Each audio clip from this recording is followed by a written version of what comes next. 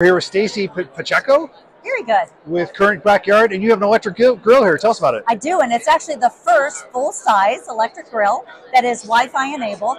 Um, it allows you to connect to not only your better cooking skills, but it also lets you connect within your backyard.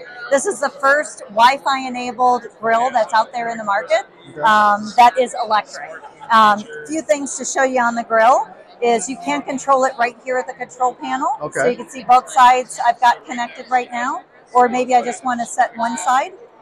Here we, we're going to set that side to 350. I'm going to set this side to 570. So put two temperatures, one side, this side. Yep. So you got dual zones. You've got one zone here that I've set to 575 and the other one at 350. This is telling me what it's at right now. it. So it's going to toggle between the two temperatures. And you can also see on the app, it's also coming up. So it's showing 350 on one side, 575 on the other. Say 575 is too hot. I want to bring it down to 490, right zone only. It's going to change it here. And it's going to change it there. So you're going to see it come up at 490 actually on the panel as well. The other thing I really love about this is we've got the meat probes. We've got four temperature probes. And what we can do with the temperature probes is say I want to cook a, I don't know, say I want to cook a burger. I want to make one rare. And so it's telling me it's 125 degrees. I'm going to set the temperature. You'll see 125 come underneath this 80. And so that's the temperature that it's going to go to. This one, we want this burger to be, say we want this one to be, um, the other kid wants it medium well. Yep. So I'm going to set that temperature at 155 so you can see that it's going to both places. And so this is going to tell me um, where I am versus the temperature. And it's also going to tell me on my watch, send me notifications of when I need to flip it um, and also when it's going to be done. And when it's done, the heat doesn't turn off. You just have to pull it off, right? Or You pull it off, Okay. and then I can turn it off from here as Okay. well. Um, the other thing this allows me to do is it allows me to go in and select some recipes. So maybe I want to make some grilled pork chops. It's going to come up and slow Wi-Fi here on the. Uh, yeah, it's a little slow. It was coming up faster for me a second ago. Let's see if I can get a different one to come up faster. Let's do the kimchi. So it'll be an interactive um, recipe guide.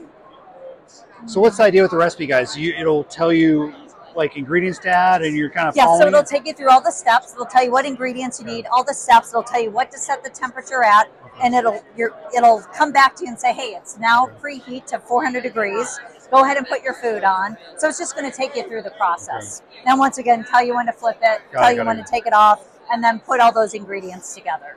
There's other features, right? So there's there's the cleaning part, which is Yep. tell me about that. So this is called Smart Clean. And so when you hit the Smart Clean button, what it's going to do is it's going to set it into a mode, and I'm not going to do it right now because it'll get really hot, um, but it'll basically set it into a really high temperature, and it's going to do a burn off mode. okay. So it's going to burn off all that stuff that you, gets collected on the top, and it's basically just going to turn it into ash. Okay, got And it. then you still have to come back in and clean it, but at least it started the process where you started the dirty work for you. And the heating element is infrared. It's it's an infrared system. It's a convection system. Okay. Yep, with a double insulated um, shallow pan, double insulated. So it's Okay. our proprietary technology. And there's never been an electric grill this size before. So Correct. Okay. This is the first full size electric grill. This 330 square inches. Okay. Um, this is actually is 422 with the warming rack. Where today most of the electric grills are about 150 square inches, something like that, and cost anywhere between 499 and 1500 dollars, depending on the brand. So how much can I pick one of these up for, and when can I buy one? Sure. So this one, um, this specific one is nine ninety nine. Our base model, our base grill is eight ninety nine. Our base griddle is seven ninety nine, Okay. and you can find this on currentbackyard.com.